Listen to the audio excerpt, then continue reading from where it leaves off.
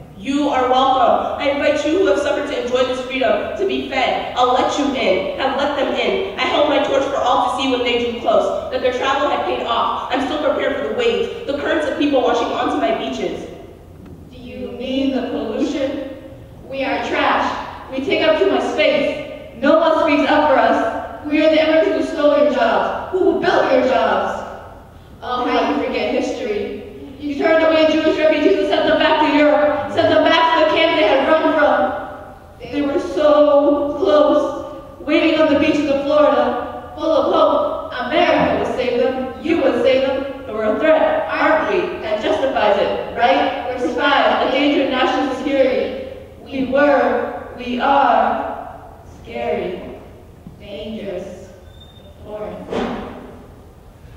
But aren't we all your children? It is time to make amends. Knock, knock. We're here. Thank you.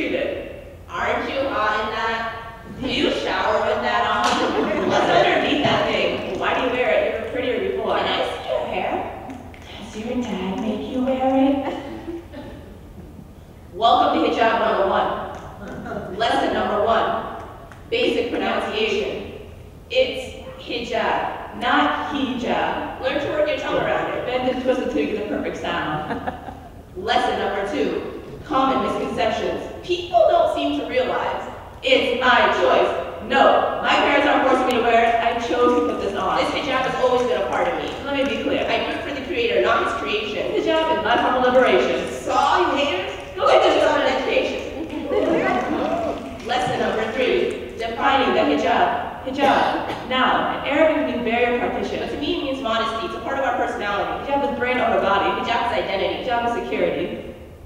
Lesson number four, hijab and feminism. Today, feminism is all about loving your body. Accepting your body, showing your body without any reservation.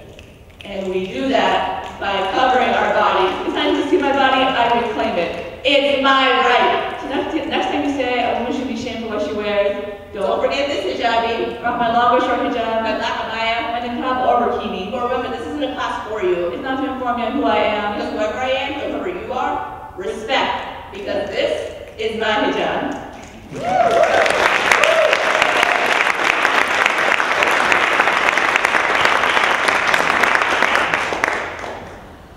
So, Alito was supposed to be here in the solo, but I I guess I'll do two.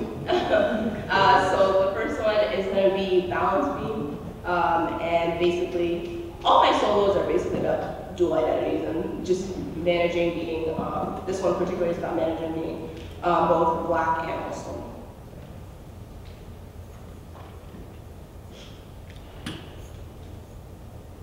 Gym class, 2009. A young girl steps in to face her biggest fear yet. She thinks to herself, nothing can hold her back from this kind of success, can tell her she can't do it, can scare her away. Nothing but the balance beam. She hops onto it hoping it would be just as easy for her to make it across the thing as it was for the other kids. She wishes for one single chance to prove to the rest that she can maintain balance. She crosses her fingers that no one would laugh. Little does she know that with one foot comes the stumbling of another, that we are not all as nimble as Jack, that this beam was not made for victory on her part, that ever seems to be victory on her part, only obstacles. But she dodges these obstacles, no bullets, it's matrix, puts on costumes to make everyone comfortable, it's white chicks, doesn't know how to choose one thing over the other, Twilight Eclipse, I'm sorry. I didn't mean to compare my life to a movie, but nowadays I can't separate fantasy from reality. And all my energy is concentrated on what I can't have, and what I do have is something most can't handle, I can't handle. I'm black. I'm proud to be black, scared to be black. I'm black. They tell me I'm beautiful in my skin, but how far does beauty roll off your tongue? They tell me that diversity is what completes their community, accepting is different from tolerating. They tell me I will never again be considered below them, but our bodies have sunk before you, engulf us whole, still assuming we'll make it in time for a breath of air, and it takes no time for you to swivel your head around and look at me whenever slavery is mentioned. Is black blood the only blood in the room? Look at me. I'm not only black. I'm Muslim. I those terrorist jokes off my back where all the body is connected and from the back is the heart, though you may not see it. My heart just died a little. And yes, these are jokes that you and your friends whisper as if I'm blind, deaf, mute. Honey, I would respond if I could, but I have been taught that silence is sometimes better. But I can't stay silent. Islam is our new unit in school. Did you need help pronouncing the words Quran, Hajj, and Allah? By the way, it's Quran, Hajj, and Allah. My point is, when I'm not running away from the sirens warning me, get away, you don't belong because you're black. I'm running away from the voices telling me you clearly don't belong, you're Muslim. I'm convinced that there are two TV screens in my house, and when one is off, the other automatically goes on. You see, white folks never hesitate to tell black Muslim people who they are and what they do. Sometimes I shift my weight to one side of the scale because I appreciate one part of me over the other. Will I ever appreciate both simultaneously? And no, this is not a cry for help because you had your chance, but you didn't. This isn't some child screaming for attention because you didn't dare look. This is not just a poem informing you of what you do because you already know. This is me telling you that my life isn't Hannah Montana, it's not the best of both worlds. This is me telling you that my voice is the only thing that matters. And I'm gonna use my voice to tell you I'm both black, Muslim, in a world where it's hard, no, exhausting to find balance on a balance beam. Thank you.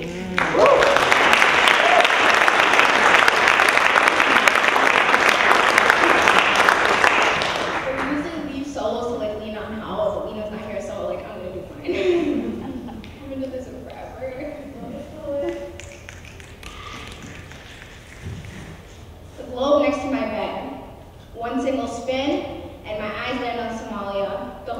been to, only born into, and still my heart yearns for the land that raised the father who brought me far away from it. The land that built a no- nation of poets, poets that talk about a culture and land ruined by war. They speak the same words running through my veins. Our hearts will never become sore. It's a nation where art and culture are celebrated at every festival, from weddings to baby showers, funerals, and homecomings. But the question is, when will I go home?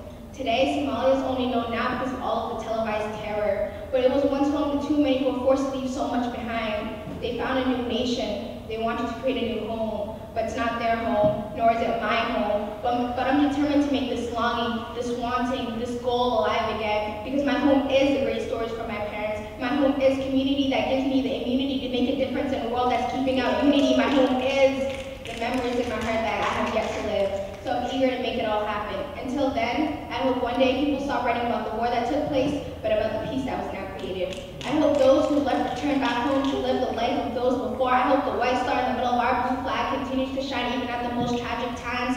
I hope that the Mali gang throughout America will come together and create us a new name. I hope we fly back home as quick as that bullet left the gun killing our people and our innocent souls. I hope we see each other beyond our tribe and realize that 20 years of war was worthless. I hope people realize their genes contain more than soft wavy hair and that it's filled with the resemblance of those before them. I hope nothing for more. I hope nothing more than my wishes become true because the, this legacy of my home was clearly explained to you. Because I'm telling you, as a Somali, that we are more than what the bloodshed has caused us. We are more than the mistakes of others. We are more than just these invaders and immigrants. Because we ourselves have our own home. It's my home. Thank you.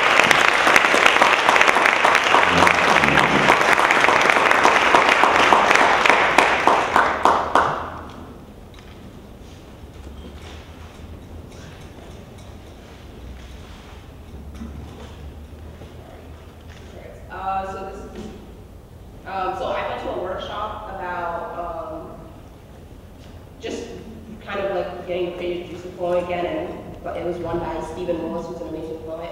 Um, and there's this poem that he showed us by Patricia Smith, and it's called Be a Black Girl, um, for those who aren't.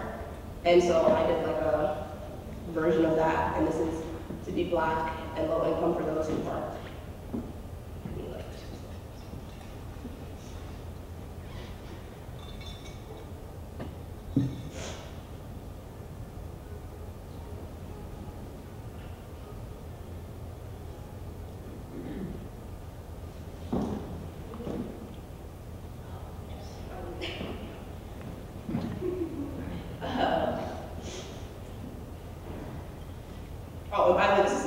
first time I'm performing this.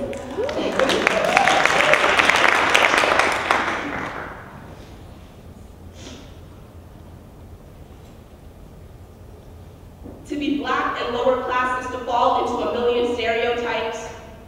That you are hood, grew up in the ghetto, the projects, that you are ratchet, could never afford to tame your hair, as if there's anything to fix, as if the lack of black hair stores isn't the roots of our problems, as if we don't already know the secret to our curls is water. To be black and lower class is to want every part of your body to escape you, but to learn that you can't afford sacrifice, can't pay the price of privilege, can't allow your skin to take three to five business days so you can afford a bleach, I mean beach vacation. To be black and lower class is to rely on government support when you don't trust the government.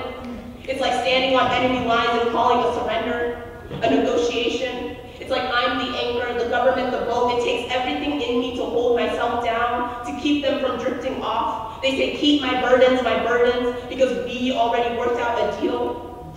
To be black and lower class is to be two-faced, showing a different side of you to the world than you do to your loved ones, because only they know why nothing is making sense at home, why you were raised religious but are making friends with false prophets. To be black and lower class is to declare myself a motherless child, because mama only shows up when I'm asleep. Mistaken her for the bills too many times. No wonder I only have memories of arguments with sheets of white paper. Call those ghosts, demons of my own nation. To be black and lower classes to apply for five jobs, knowing you will hear from none. But you don't worry, because your parents taught you business from inside your home, taught you gather the community, collect the money, and call it stop up and bond. Black business is a rite of passage. The only reason I share this is to remind you that we can always buy ourselves out of your system. Being black in lower class is getting a job and telling your friends you need the extra cash. Could use a little treat for yourself. Call that gift survival. It's refusing to let the words low income, free, reduced lunch slip into the conversation. Call it forecasting because you know where this is headed. They will ask, can we hang at your place today? As if it's casual, as if your hand has been cramping from whitening the walls all day, like you did not spend the past year preparing for them a contract stating, you will not go inside my room, check for other rooms, or wonder why there isn't a basement, a garage, an attic, or another bathroom. You don't know what it's like to have your own walls cave in on you, making you feel small from just judgments. Being black and lower class is being 15 and teaching my two-year-old niece food stamps before footsteps, advancing her into taxes before she's even got any practice, before she's learned about her blackness. Then by age four, taking her to thrift shops, washing the clothes once we were home so she wouldn't know her peers didn't shop there too, only left their mess for us to clean up. Being black and lower class is learning H stands for house. But you've only ever known two-bedroom apartment with 14 people. Cramped spaces are the only places we take comfort in. Being black and lower class is understanding the one meal a day policy. So when you ask a black student what their favorite part of the day was, and they respond with lunch, it is not a joke.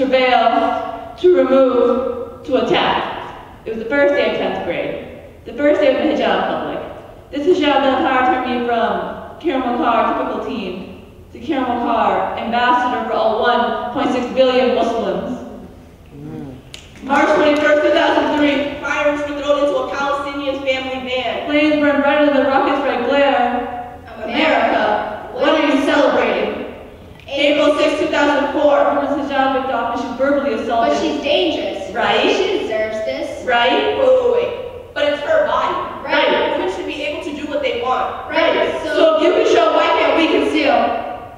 August 6, A 2007. chemical bomb is thrown at a mosque in Glendale, The Arizona. bomb almost hit two Muslim Americans.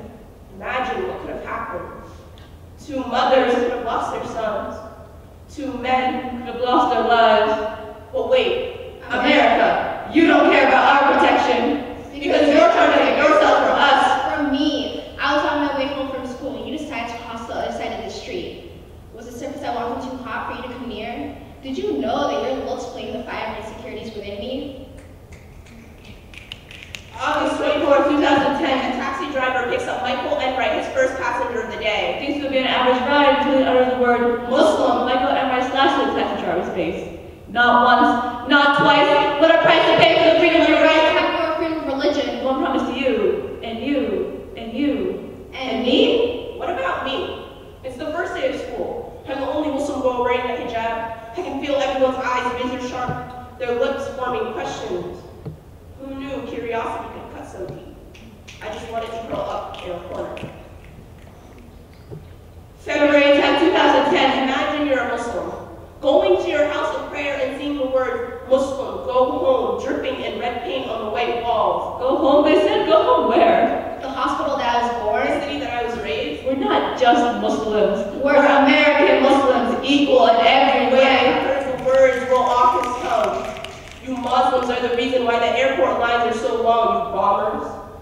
He was drunk, but a drunk mind speaks a sober heart. These are the things we see, hear, and experience daily. And now you know of these Hidden crimes, Unheard voices, terror on Muslims, restless souls, guns and bullet holes. wake up America. The enemy has always been here. Thank you.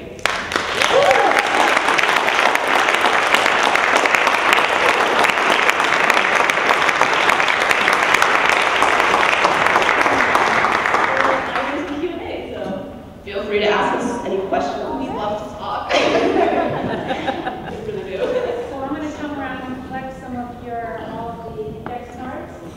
And the first question we want to start with is, uh, we heard about the March for Our Future.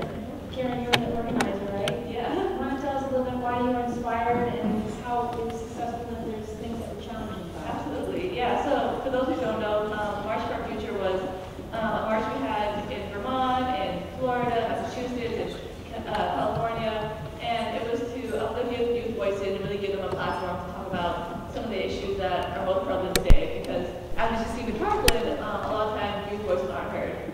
So it was an absolutely amazing day. In Montpelier, we had about 3,000-ish people come, and in California, they had like 50,000, but it was in California, so we're good for that. And it was really fun to organize. I think the best part of it was honestly the fact that we had so many youth voices there. Um, my favorite person who helped us organize was an eight-year-old named Sophie, and she was just like amazing. Um, and the challenges were obviously that like a lot of us were first-time organizers. We'd never, you know, gotten a permit before or figured out anything about planning a route or anything. So it was very, it was a lot of learning, but it was a lot of fun as well.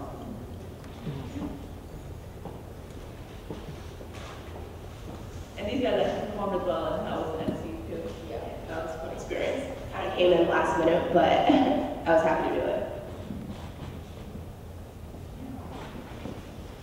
Um, What do you, what are you each thinking about life after high school?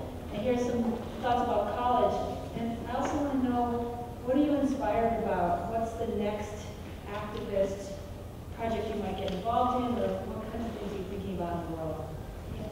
Um, so in terms of like Muslim girls making change, yeah, we probably will not continue after um, or s- after we graduate. So uh, we're all like individual like people, and we do different things. Um, we're involved in our community in a lot of ways, and that's inspired us to think about things like uh, politics or sociology or criminal justice. You know, so that's kind of like the different things that we're pursuing. Um, no one's like really clear on like exactly where they're gonna end up, but um, it's kind of what we're interested in right now. Yeah, I mean, we're still waiting to back from colleges, so we have, we don't have like a certain place we're all set to go yet, but um, we all have separate different interests. So for me, I'm really interested in international relations, especially like I'm really interested in like global poverty and education around the world. So that's where my passion is, and I'm hopefully gonna pursue that.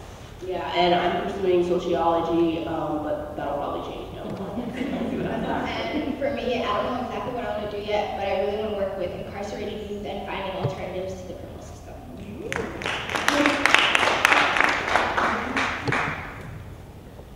Does high school feel like a different place now than it did when you were freshmen? Oh my god, yes. um, when we, like, I know for myself, like, my freshman year, I didn't wear the hijab, and I was, like, very, very, like, quiet and reserved, and I didn't like the fact that, because, like, you know, you look different, like, I look different than other people in my school. I go to Southpoint High School, it's not super diverse, and Vermont state isn't super diverse. And so, when you, when you're the odd one out, it's your freshman year of high school, and you're trying to assimilate, it really isn't that easy. So I was very quiet, like, back in the classroom, didn't want to make too much noise. And then I, my freshman year of high school, I don't know how I was better uh, science class together. And when it like you know, it was back like not paying attention and not, not caring for the science. We cared about science. Or we didn't care about science. and so um, I think just like getting closer with like some other Muslim youth was really important for me. But then um, our sophomore year of high school, when we started Muslim girls making change, that just like changed my confidence so much because when you can speak in front of 20,000 people, raising your hand in class isn't that big of a deal. Um, yeah, I think for myself, like, uh, I wasn't exactly like involved in the community my freshman year. Honestly, I'd rather like just go home and like watch Netflix or something. So I would still rather do that. Like, yeah, right. So that was kind of me. Um, and then I I went to South Burlington my freshman year, and then I moved to my sophomore year to Burlington, and that kind of like forced me out of um, my regular routine because I had to like learn a whole new. Well, it wasn't new because I went to Burlington when I was younger, but I had to get readjusted, um, and that that kind of like made me um, seek more opportunities. Um, so then that's kind of where I got involved in my community, did some drug alcohol prevention work with this club um, called ATI ATV. That, that's how I met, well, reunited with Kisa. Um, and yeah, uh, ever since then, like I just found a lot more like um, appreciation for like social social work and social activism, um, and I've grown really close with these guys, and I'm more like I don't know open to like networking and meeting people, so that's that's cool.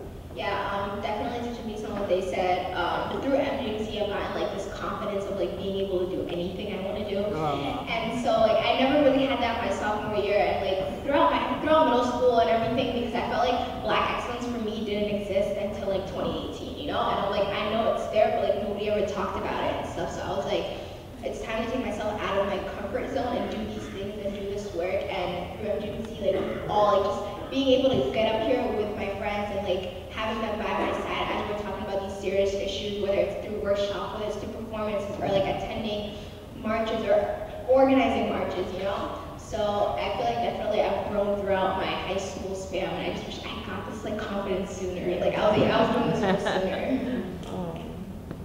Anyone have questions they'd like to shout out? Yes. Um, I wonder if uh, you have any voices that you guys listen to on social media, whether it's a poet or not a poet, but uh, just somebody who's really vocal that you wish other people listen to more. Did you guys hear that in the back? Did you guys hear the question? The question was whether they have people on social media that they like to listen to or would um, encourage others to check out and hear more about. Yeah, I could spend like five hours listening to this for you because I I've been spending like my vacation just watching like button poetry, Def Poetry, everything. So um, I think yeah, Brave New Voices um, is definitely the place that we got inspired. So a lot of those poets, the those youth poets that we um, got to learn personally. Um, so that those are people that we recommend. So Breakthrough Voices, I guess, and just any kind of like, and it doesn't necessarily. We, we always say like it doesn't necessarily have to be poetry that you find. Inspiration or whatever it is, because that's just something that we picked up on. But I think you can any kind of like music or something like that, or art, whatever it is. So that's also something that we encourage to seek out wherever you are passionate about. And also, I think like even locally, like um, Jeff is in here somewhere, but he's over there. But like um, Young Writers Project has a lot of amazing writers who are writing like really personal, um, really true thing. So um, if you're if you're like in the age range, definitely post on Young Writers Project. Encourage other people to post on Young Writers Project. Check out some of the work. Um, so there, there's some awesome stuff going on there. That's actually how we started at a Young Writers Project open mic kind of event, and so they really do make an impact. People like people that inspire this question. Um, Maya Angelou, Michelle Obama, yeah. Beyonce.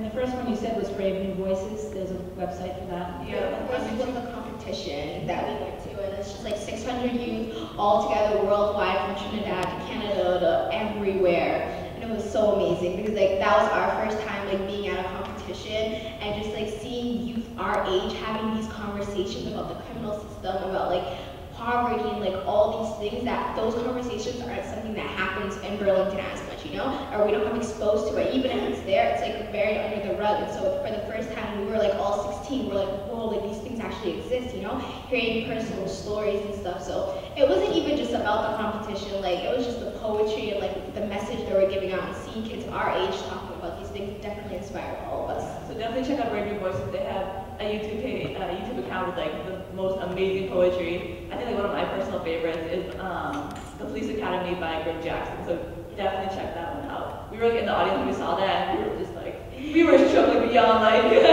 anything you could We imagine. thought we were good. we walked out of that, like he performed, and we walked out, and we're like, we're jokes. We're never doing slam poetry again. That worked. done.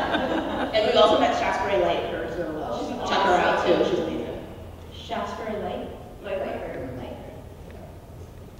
Great. Another question? we will literally answer anything.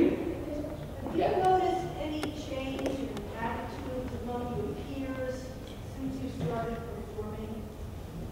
I mean, I Have you, have, have you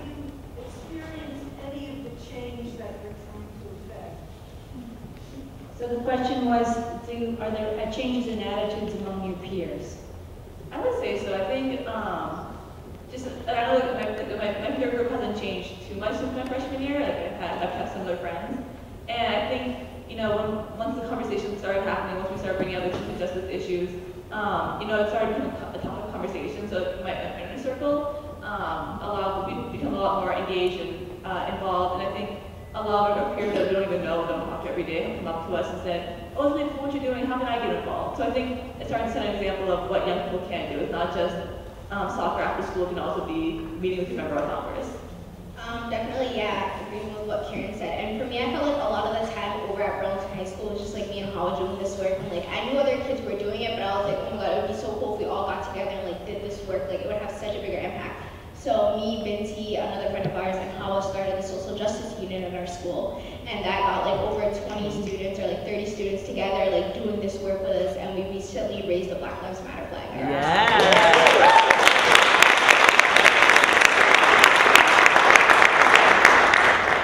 Yeah, we know definitely youth always want to get involved. I mean, this kind of like, you can't really ignore what's going on. Um, so I know we always try to find ways that we can get them to participate. Um, and we always try to make it like, I don't know, I guess it's like intimidating if you're seeing like uh, poets or whatever performing and talking about this stuff. Um, so creating the social justice union was an opportunity for us to step outside of Muslim Girls Making Change um, and just be like this learning and growing together as activists. Um, and um, we're growing our um, networking and we've had a lot more participation ever since the flag went up. So I'm excited to see what else we do. It's great to hear that flag made a difference as, as a symbol. It really sounds like it brought people together. Yeah. More questions? First, thank you for coming here. You guys are amazing. Thank you for standing up and taking action. Um, What, what would you like to see adults in the community doing to support you and your cause? I like that. I like that. I like that. We have, we have their attention right now. No, I think it- that question is kind of funny The because question we was, did. the question was how can adults support us and other youth?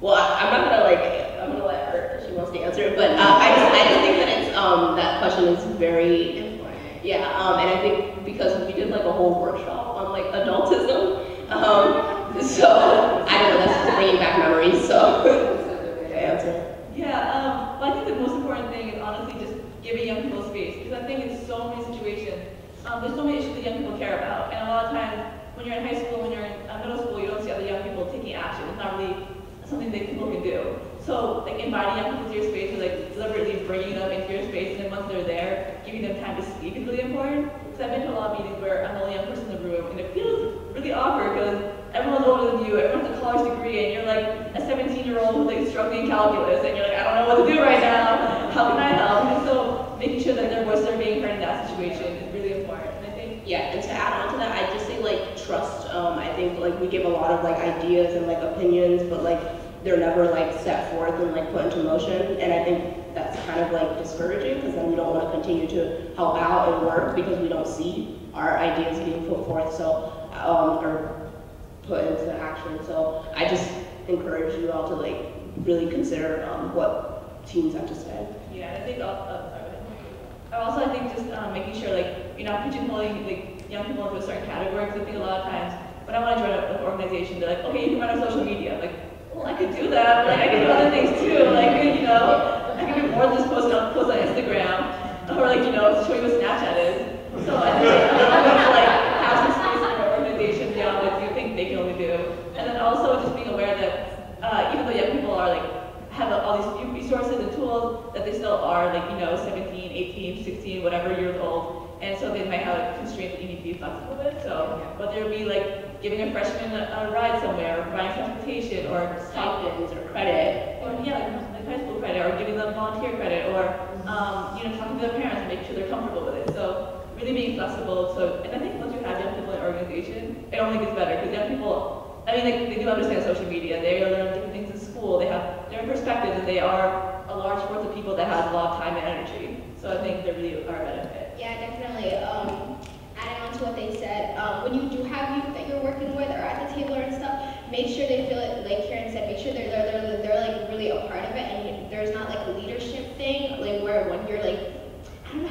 where there's not that leadership like um, thing where like they're inferior. Like they're, yeah, that inferiorness. Like make sure that it's actually a partnership where you're actually working with one another and taking each other's ideas and not being like, oh, she's a kid, she's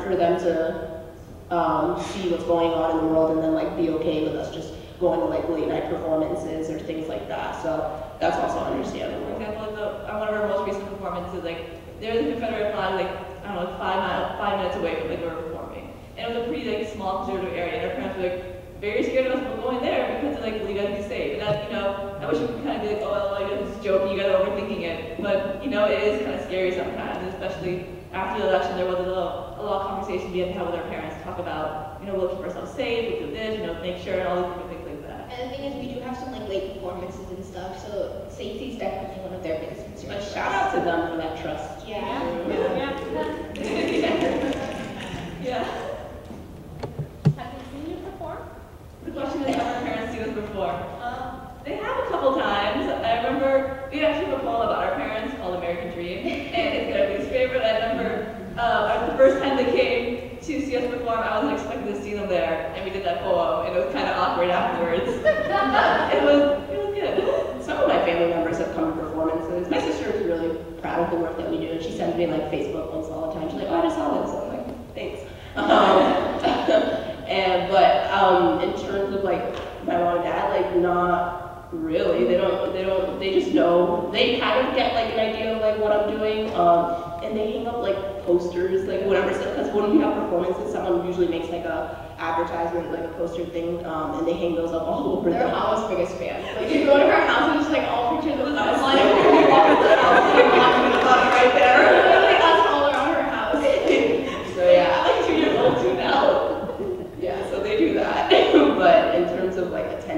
Most of our performances, they, they got the gist, so they don't need to come to every Yeah. single one. My dad usually was there for most of my performances. He drove like an hour and a half away performance, even though he was like, uh, like really annoyed on the way there. But like, he was so proud of his actor because like people like came up to him and stuff. He's like, okay, what you do is not bad, you know, you're doing They- good. they- What they do is they'll like, they will, they'll like kind of like give us like crap for like at home, they're like, you guys should study more, what are you guys doing with the lad? But then as soon as they're on, on the phone with the family back home, they go, yes, my daughter is so proud. Things done well, very good, very good. So they don't say it to our faces, but we hear when they talk about it to our families. Yeah.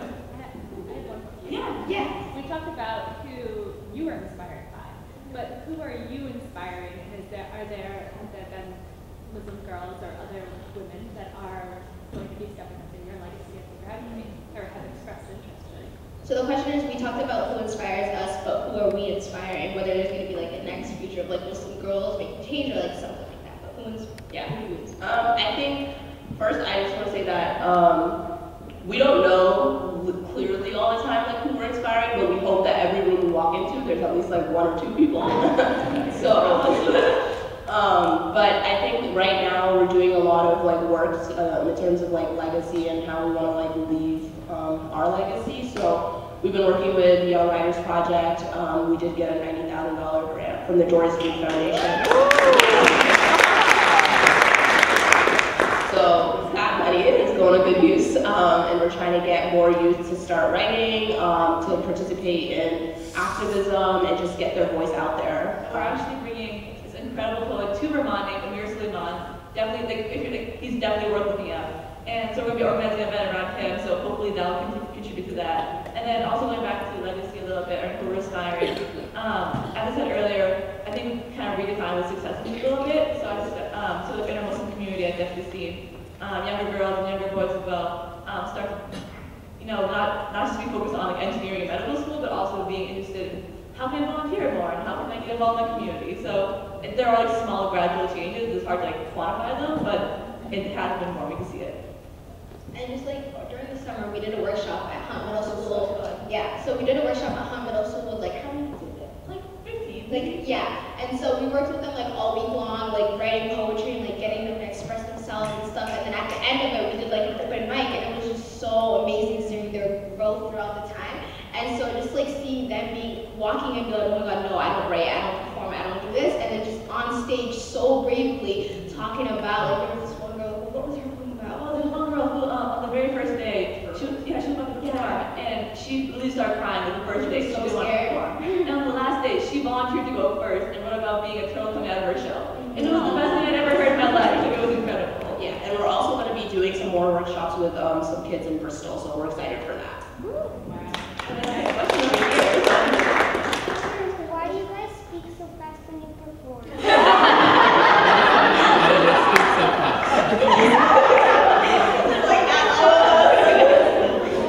Well, these two just speak fast normally. um, very hard to understand.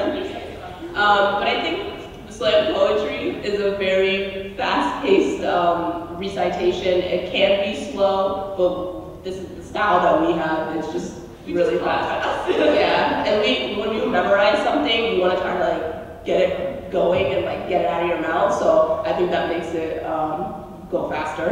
Yeah. But we have some of our like poems that we read. If you didn't catch them fast enough, like we have the, them like written down and stuff. So if you want to get in contact with any of us after, we can send that to you definitely. So if you want it to be your bedtime story tonight,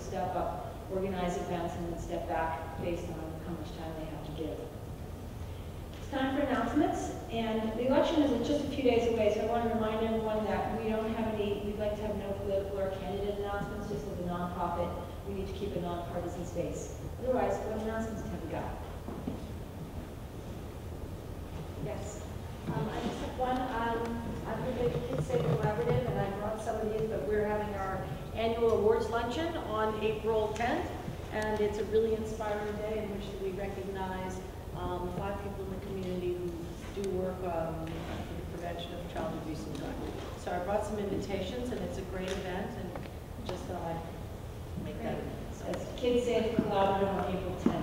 Yes. Any other announcements? Megan, um, I'm Megan Humphrey. Besides making cards, I also run hands, which um, we get food to low-income seniors in Chittenden County. And we're I'm running off to hang a show that's going to ha um, hang at Penny Cluse Cafe for the month of March, and then we have a silent auction of all of them. Some people in the room have done hands, um, they're small wooden ones, and so I have postcards and posters if anyone's interested in that. Thank you. What's the date of the auction? March 29th. March 29th, the hands auction, that's at Penny Foods. Yes, and you can also, for most of them, you can buy them off the wall for a good chunk of change.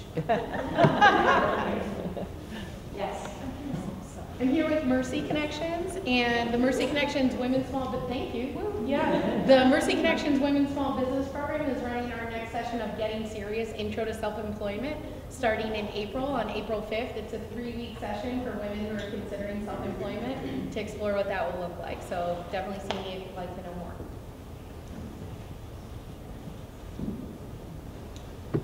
Yes.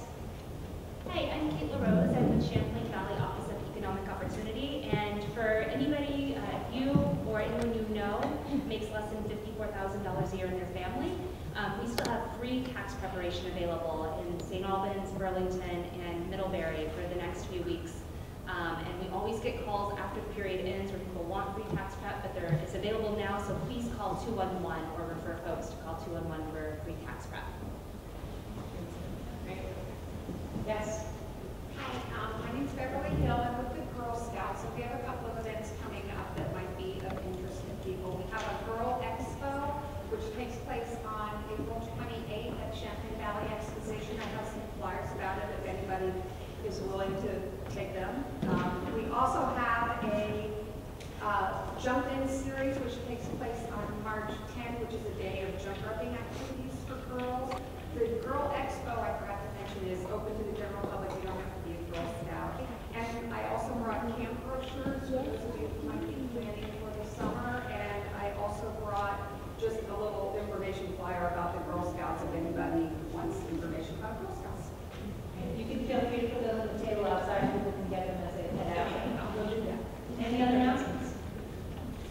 Yes. Hi, I'm Doreen Kraft from Burlington City Arts, and uh, in partnership with the Young Writers Project, we do a monthly collaboration, which is called Soundcheck. It's a writer's workshop, and this, the next one that's coming up is on March 8th. It's at 7 in the evening, right, Jeff? And this focus this month is going to be on gun violence, school safety, and political inaction. So please join us right next door at Burlington City Arts, third floor. Pizza workshop at six. Open mic and stuff. At seven. Plus, we'll be there.